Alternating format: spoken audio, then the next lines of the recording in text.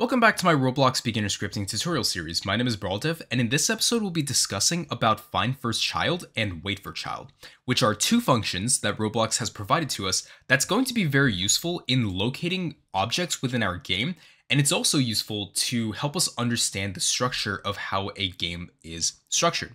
So to recap, a game is basically comprised of all of these different folders that have its own specific use cases. Like let's say this workspace it shows all of the parts that we can see within this 3D world that basically make up the workspace of the game. Now, when we're understanding this hierarchy, like if we open up this workspace, this workspace has all of these different objects that are within this workspace folder. The workspace in this case is called a parent, and everything that's inside of this workspace is a child that belongs to the workspace parent.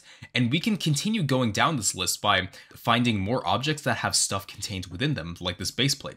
So this base plate has a texture child, and this base plate is the parent of this texture child.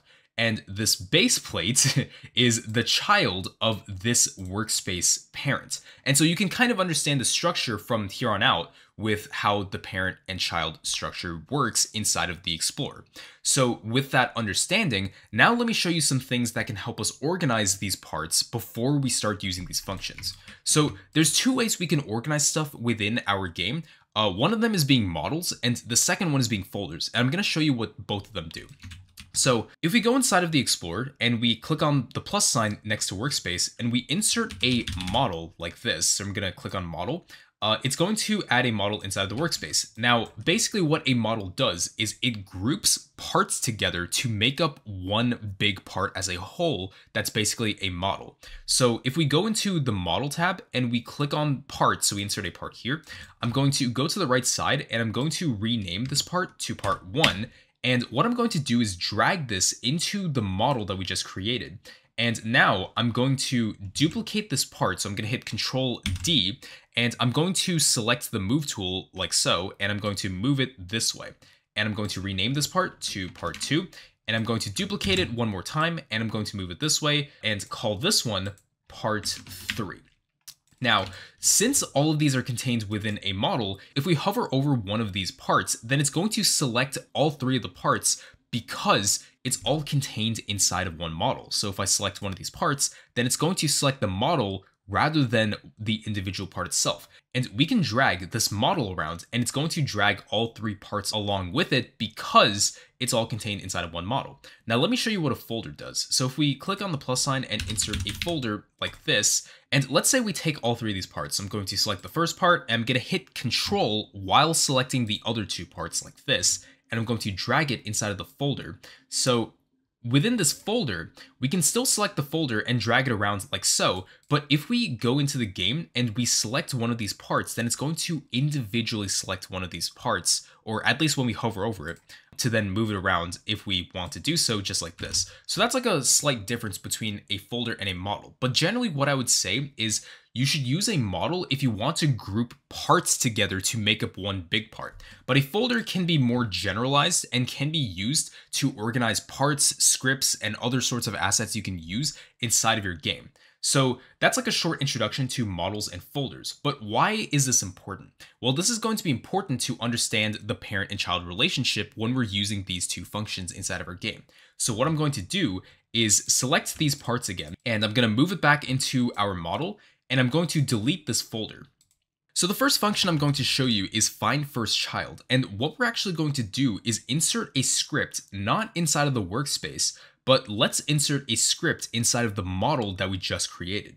So I'm going to hit the plus sign next to model and I'm going to insert a script. Okay, and I'm going to delete this code that's inside of here, and now what we're going to do is first locate our model. But what's interesting about this is because we have our script inside of the model, we actually don't need to locate the model from the game data model and then into the workspace and then into the model itself. So what we would have done is we would have said uh, local and then the name of the model, which we can just call model like this. We're going to set this equal to game.workspace.model. We don't need to do it like this, but instead we can do it from the script itself. So if we were to actually delete this, we start at where the script is located. So in all lowercase, we're just going to say script, which basically tells us that we are currently located inside of the script right now. and we want to get the parent of this script, which is going to be the model. So we can just say script.parent, and this is going to locate the model rather than doing game.workspace.model just like this. Both of these basically do the exact same thing because we put the script inside of the model as a child. So now that we've come to that understanding, let's locate, let's say the first part here. So what we're going to do is drop a line and then we're going to say local part one equals model dot part one. So this is how we've been able to locate parts or other objects within the game. It's basically by using a dot and then whatever the name of the object is. But now this is where the first function comes in, which is find first child. And let me show you what this looks like. So instead of saying dot part one, we're actually going to delete this and we're going to replace this with colon find first child, open and close parentheses, and inside of these parentheses, we're going to put the name of the part that we're trying to look for. So in quotations, we're going to say part one. Now, why are we doing it like this instead of doing dot part one like we've been doing in the past? Well, let's say in this case, we have a script that's trying to look for a part that's contained within this model. Let's say this part is not here. So if we were to just delete this part and it's just gone from the model, then the script is going to try to look for a part called part one that's in the model. But part one is not here. So the script is going to throw in an error saying that there is no such thing called part one if we were to just locate part one inside of the model. But what this function does with find first child is it's going to check the model for a part one. And if there's no part one, then it's just going to tell us that and we can handle the error if that ever comes to be the case. So what I'm going to do is hit Control Z as in zebra so we can bring the part back. And I'm going to go back to the script. And what we're going to do down here is check if part one actually does exist. So we're going to say if part one, then we're going to, let's say, do something with this part, like change the brick color of it. So we're just going to say part one dot brick color equals brick color dot new open and close parentheses. And inside of these quotations we can pick a random color here. I'm just going to say um, cocoa and then we can hit enter like that. So if we go into the game and hit test and hit play then what we should see inside of the game is part one has changed its color because the script was able to find part one within the model. Now, once again, this is just a safety precaution to let us know that if the script decides to not find the first part, then it's just going to skip this if statement and it's just going to continue with the script as is without throwing an error inside of the output. I hope that part has made sense to you. So if we hit stop and we basically delete the first part, and if we go into the game now, then it's not going to throw in an error, but it's also not going to change the part of part one because obviously there's no part one inside of the model. So it's a safety precaution to be able to look for something if it doesn't exist because there's a chance that it won't exist. And that is the purpose of Find First Child. And I hope that this has made sense to you. So now what I'm going to do is hit stop and I'm going to hit control Z again to bring the part back. And now let me introduce to you the second function that's going to be useful, and that's called wait for child.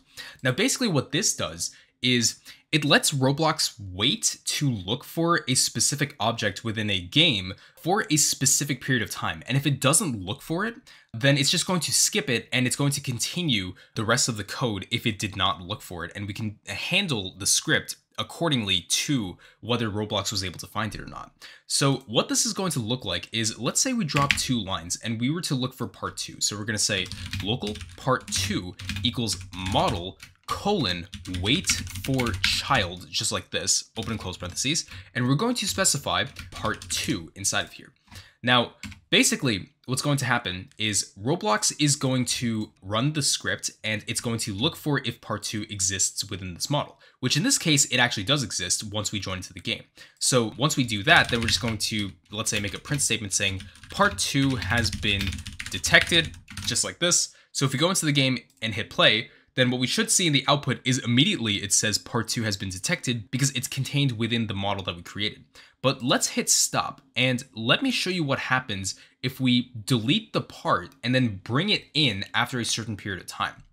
So what I'm going to do is take this part and I'm going to right click and hit cut so that it's contained within our clipboard. And what I'm actually going to do is go to test and click this drop down and hit on run so that all we're going to see is our camera. So once we see this, then it's going to say in the output after a certain period of time that it says that there's a warning that says infinite yield possible on waiting for part two because Roblox took a while to try and see if part two existed, but in this case, it actually didn't. So if we go into the workspace and we go into the model, so I'm going to right click the model and I'm going to hit paste into just like this. And now it's going to say that part two has been detected because we used the wait for child function to see whether the part was actually going to be detected. And since it was added to this model, that's when we decided to continue executing the script because of it. And it's very useful for situations like this if we're trying to wait for something to be added into a model or into the game itself. So that is basically how we use wait for child and also how we use find first child inside of our game. If something in this video didn't make sense to you, then I encourage you to rewatch some of the bits before we move on to the final part of this video, which is going to be a practical example of using find first child. So now what I'm going to do is hit stop, and I'm also going to hit Control Z to bring part 2 back. So for this last part of the video, we're going to be making what's called a kill brick. And basically what this does is if, let's say our player was in the game and we decided to step on this part, the part would kill us and it would basically reset our character um, kind of like if we were to play an obstacle course and if we touch a part that we shouldn't be touching, then it basically kills our character, and that's what's called a kill brick. And we can use what we learned in the last episode with uh, with the touched event and also combining it with Find First Child to make a kill brick. So that's what I'm going to be showing you how to do for the rest of this video. So what I'm going to do is go to the model and we're going to insert a part like this and we can change the brick color of this to red so that we can uh, say that this is a kill brick. And we're going to go to the right side and we're going to rename this part to kill brick and then we're gonna hit enter. So what I'm going to do is insert a script inside of the kill brick. So I'm going to hit the plus sign and I'm going to insert a script just like this. I'm going to delete this code and we're first going to make reference to the kill brick, which once again, we can do from the script that's inside of this kill brick. So we can say local kill brick equals script. So we're located inside of the script and then we're going to say dot parent just like this. And now we're going to use a touched event for this kill brick. So we're going to say kill brick dot touched colon connect function open and close parentheses and then we're going to specify the other part that's inside of here, and then we're going to hit enter just like this. So what we need to do in order to detect if this is a player that's touching this kill brick is we need to find what's called a humanoid. So I'm just going to demonstrate to you what this humanoid is really quickly by going to test and we're going to hit the drop down and then we're going to hit play. So if we go into the game and go to the workspace and go to our character, which is our Brawldev character or whatever character your name is inside of the game, we're going to open this up and we're going to see that there is an object here called humanoid. And this humanoid is basically used to tell us that this is a player that's stepping on this part, rather than just another random part stepping on this. So we're going to be detecting this using Find First Child. So what we're going to do is hit stop, and we're going to go back to our script that we created. So we're going to locate the humanoid of this part. So we're going to say local other part equals. Oh, and there's one more thing I forgot to mention too, is that so if we're inside of the game and we're stepping on this part, let's say, most likely we're using our right foot or our left foot to be stepping on this part. And as you can see, with the part that's touching this kill brick part, we can locate the humanoid that is basically contained within our Brawl Battle um, character. So the way we can do this is we can actually go to our script if we hit stop and we go to our script like this, we can find the humanoid using the other part uh, by saying local humanoid equals other part dot parent colon find first child open and close parentheses and we're going to say humanoid just like this. So basically when we have our other part which is going to be like our right foot or our left foot we're going to get the parent of that which is going to be our character data model. And then from there we're going to find um, a humanoid inside of that player data model. So then once we make this check we're going to say if humanoid, then we're going to set the health of the humanoid equal to zero to essentially kill the player. So this is a property of humanoid, which we're basically just going to say humanoid dot health equals zero. So health is a property of humanoid for the character, and if we set it equal to zero, then that's going to kill the player. So now if we go into the game and hit play, so our character should be in, inside of the game, and if we touch this part, then it's going to kill our player like so. So that is basically how we make a kill brick, and we can also make sure that a character is touching this kill brick and not any other random part inside of the game. So that is basically how we use find first child and wait for child inside of our game, and I encourage you to experiment with find first child and wait for child for any other parts or any other functionality that you may think of for this challenge. So for today's learning objective, I want you to continue experimenting with that. And once you do do that, I want you to go down to the comment section and paste in your code for other people to, to see that you are comfortable sharing.